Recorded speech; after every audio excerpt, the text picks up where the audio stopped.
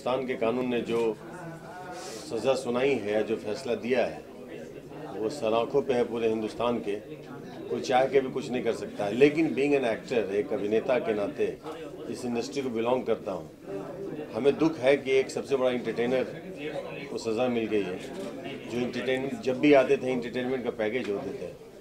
तो थोड़ा सा उस मसले को लेकर दुख है। और मैं यही चाहूँगा कि उनको अपराध बोध अगर हो गया हो, उनसे वाकई अपराध हुआ हो, और उनके मन में इस, देखिए, पश्चाताप से बड़ी सज़ा कुछ नहीं होती है। एक आदमी अगर पश्चाताप कर ले तो वो बहुत बड़ी सज़ा हो जाती है अगर उनको पश्चाताप है तो थोड़ा कंसीडर करें। एक सरकार को भी उस, वो लोग वैसे भी ऊपर के कोर्ट में जा रहे हैं।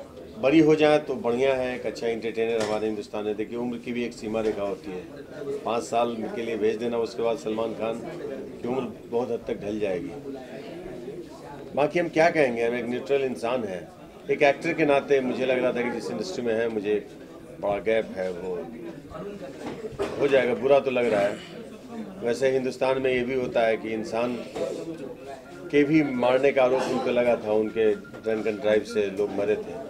वहाँ से तो बरी हो गए लेकिन एक जानवर को मारे हैं या नहीं मारे हैं, उससे मतलब नहीं है। लेकिन जानवर के मौत की सज़ा तो उनको मिल गई है कि उनको मारने का उनको सज़ा मिला है।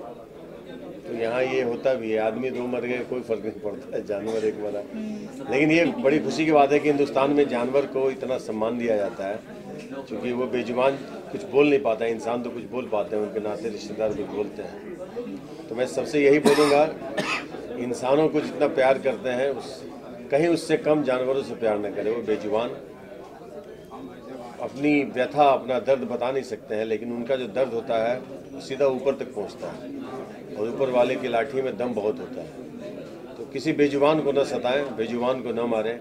अपनी ख्वाहिश मिटाने के लिए, अपनी ख्वाहिश पूरी करने के लिए, किसी बेजुबान को हर्ट न करें। एग्री करती हूँ कि हमारी गवर्नमेंट का जो भी फैसला है वो उसको हम लोग रिस्पेक्ट करते हैं बट मेरा एक, ये भी एक, क्योंकि मैं खुद एक एक्टर हूँ तो मैं ये मैं ये कभी कभी देखती हूँ और फील करती हूँ कि नॉर्मली कितने न जाने कितने हिरन मरे पड़े होंगे किसी का ध्यान नहीं गया होगा लेकिन उसको सलमान खान के थ्रू कुछ आ, मरा या कुछ ऐसा हुआ तो लोग उसको इतना हाईलाइट कर रहे हैं। सलमान खान ने बहुत अच्छी भी चीज़ें की हैं उसको लोग ध्यान नहीं देते हैं। आज क, ही नहीं है करते आ रहे हैं और आगे फ्यूचर भी उन्होंने बहुत कुछ कर रखा है।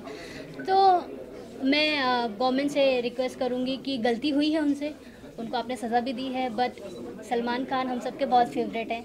तो प्लीज़ सज़ा जो भी की है थोड़ी कम करिएगा because we love Salman Khan. Ji ने कहा, वो बिल्कुल सत्य है। रूल जो है लॉ का, वो किसी को नहीं देखता, चाहे कोई कितना भी बड़ा हो। लेकिन अंजना जी ने कहा कि उन्होंने एक इंसान से गलतियाँ होती है, लेकिन उन्होंने बहुत बड़ी भी काम की है। तो मैं यही, मैं भी कहूँगा, आग्रह करूँगा अपने जो भी है हमारे देश के जजेस लोग हैं कि उनको राहत दें। यही कर सकता हूँ। उनके लिए शुभकामना कि वो जल्दी हमारे बीच आएँ।